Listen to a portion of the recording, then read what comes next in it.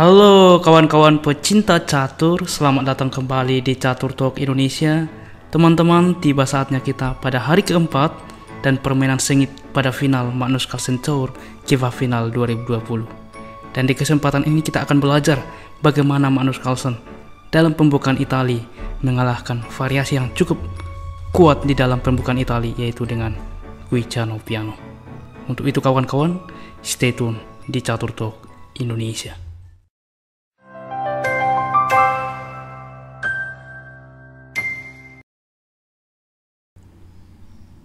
Baiklah kawan-kawan, tanpa berlama-lama kita langsung ke permainan. Di sini Magnus Carlsen sebagai pemegang buah putih memulai langkah dengan pion ke 4, pion ke 5, kuda ke F3, kuda ke C6 dan gajah ke C4. Kita lihat, ini adalah pembukaan Itali dan balasan yang cukup populer gajah ke C5. Variasi Guicciano Piano. Putih melakukan rokade, kuda ke F6 dengan lanjutan ke depan persiapan rokade, dan juga dengan tempo mengancam pion. Dan untuk itulah Magnus Carlsen membalas dengan pion ke D3, tentu saja melindungi pion.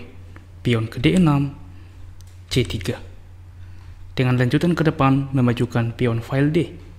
Pion ke H6 untuk mencegah kuda ataupun gajah berkembang sehingga benteng ke E1. Dengan langsung menusuk ke raja ke depan. Untuk itulah Nakamura melanjutkan dengan rokade pendek dengan pengamanan raja.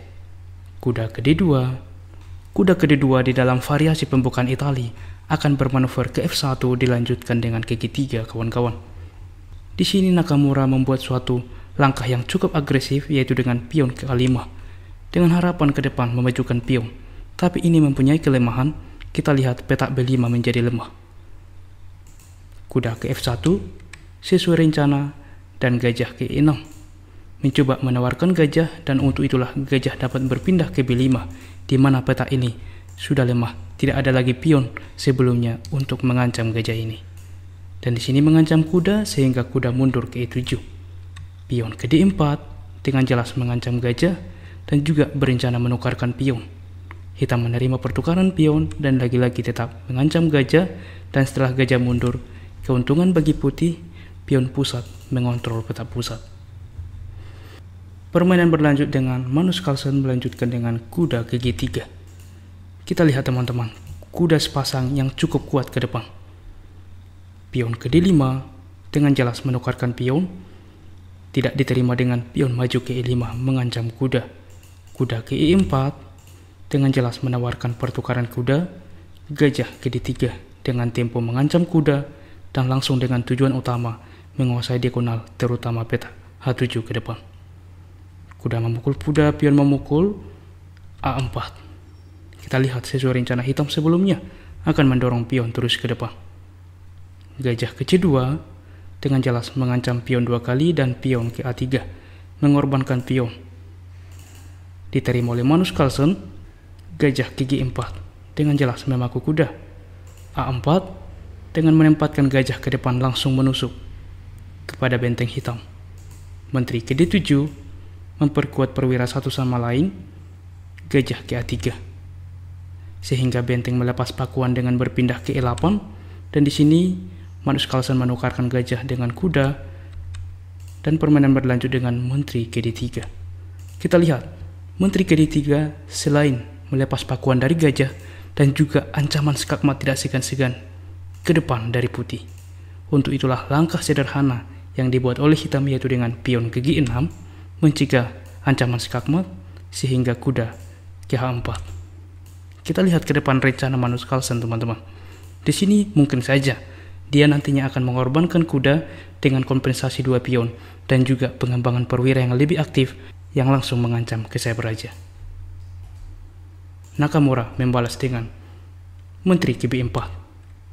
Tujuan Menteri KB4 untuk mengancam pion D4 dan langsung menukarkan menteri dan di kesempatan ini, Magnus Carlsen fokus kepada tujuan awalnya dengan kuda memukul pion. Karena teman-teman, ini juga dibahas secara live, apabila di posisi ini Nakamura langsung bersemangat pion memukul kuda yang terlihat gratis ini, maka ini fatal teman-teman. Di mana setelah menteri memakan skak, kita lihat di sini gajah pun akan hilang dan ada lanjutan benteng berkembang dan ancaman skakmat tidak segan-segan dari putih selanjutnya. Untuk itulah kita kembali sehingga di posisi ini Nakamura juga fokus kepada tujuannya dengan rencana awal menteri memukul pion dengan rencana menukarkan menteri dan juga dengan jelas mengancam pion lemah F2 ke depan. Kuda ke E7 skak ini adalah langkah yang cukup strategi yang juga sudah dikalkulasi oleh Manus Carlsen sebelumnya. Lihat langkah ini teman-teman, dan ini melakukan skak. Kuda ini tidak dapat dimakan oleh benteng teman-teman, karena jika hal ini terjadi maka dua langkah skakmat. Apakah Anda dapat menemukan langkah itu? Ya, benar terima kasih. Dengan menteri GH7 pertama skak, tiada pilihan kecuali raja berpindah ke F8 maka menteri GH8. Beautiful checkmate. Luar biasa kalkulasi dari Grandmaster ini. Kita kembali. Dan untuk itulah Nakamura tidak memakan kuda yang terlihat gratis ini yaitu dengan berpindah raja ke F8 dan jelas mengancam kuda. Kuda memukul pion, kita lihat kuda selamat. Dan di posisi ini, langkah yang cukup agresif tapi terlalu terburu-buru dari hitam yaitu dengan menteri memukul pion F2 skak. Kita kembali.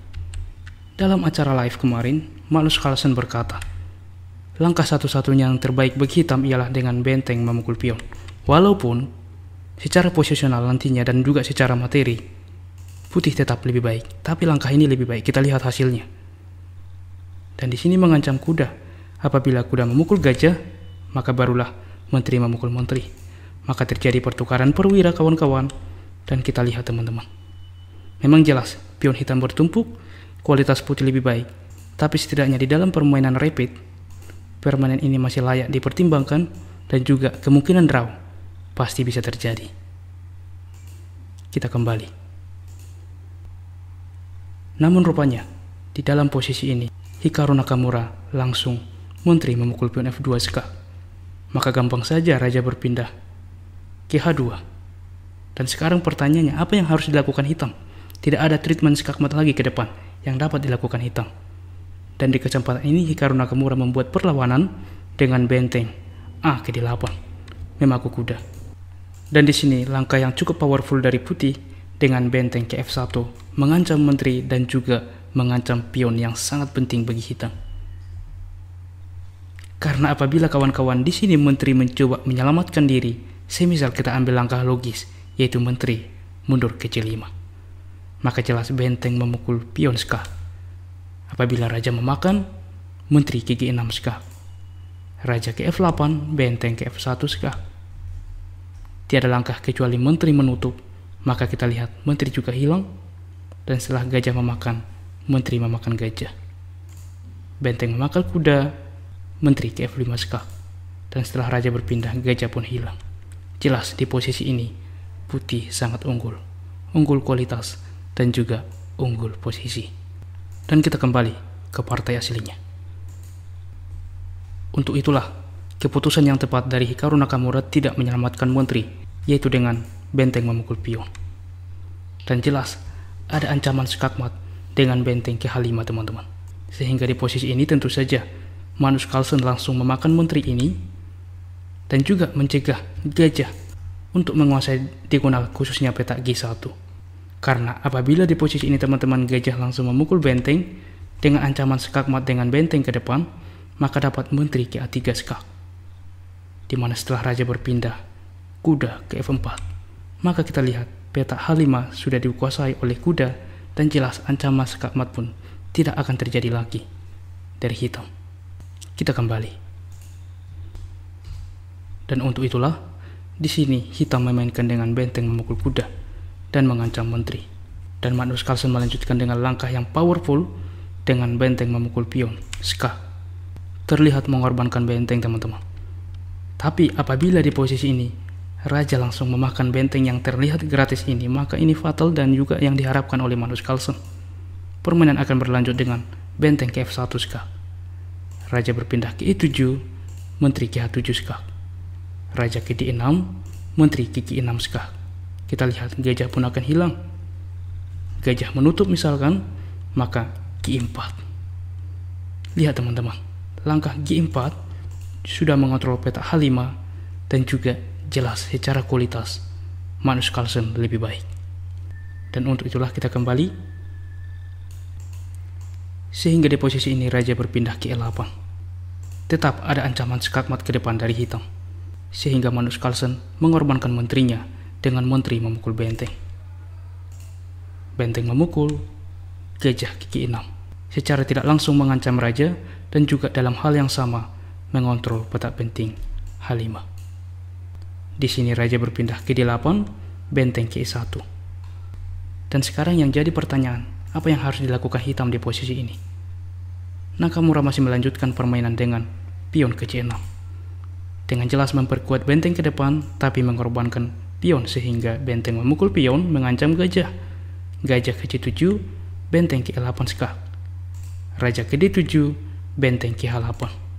Dan setelah benteng ke H8, tepat di posisi ini, Nakamura resign atau menyerah. Karena jelas ada ancaman skak dan juga dengan jelas ada ancaman terhadap pion. Dan jika skak ke depan, maka gajah akan hilang. Apabila permainan kita lanjutkan, langkah wajar tentunya dengan raja ke D6 bukan, maka benteng memukul pion. Jika gajah ke E6 menutup, maka gajah ke F7 memberi tekanan terhadap perwira.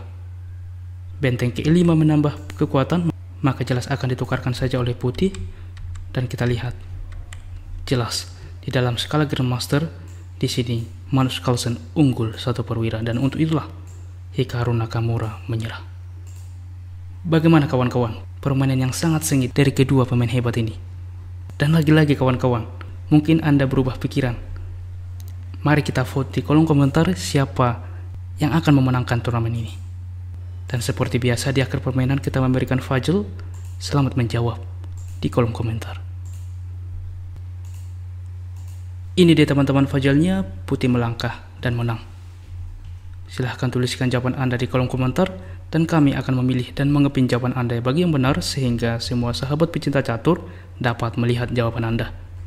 Baiklah kawan-kawan, jika Anda menyukai konten catur seperti ini, mari kita support channel ini dengan cara like, dan jika ada saran ke depan, silahkan tuliskan di kolom komentar dan kami akan sangat senang membaca komentar Anda. Dan mari bergabung di keluarga Catur Talk Indonesia dengan cara subscribe sehingga channel ini dapat bertumbuh dan berkembang menjadi channel catur yang lebih baik. Dan mari juga kita support terus percaturan kita Indonesia yang semakin jaya. Salam Catur Talk Indonesia, sampai jumpa pada video berikutnya. Keep sharing and keep loving. Bye-bye.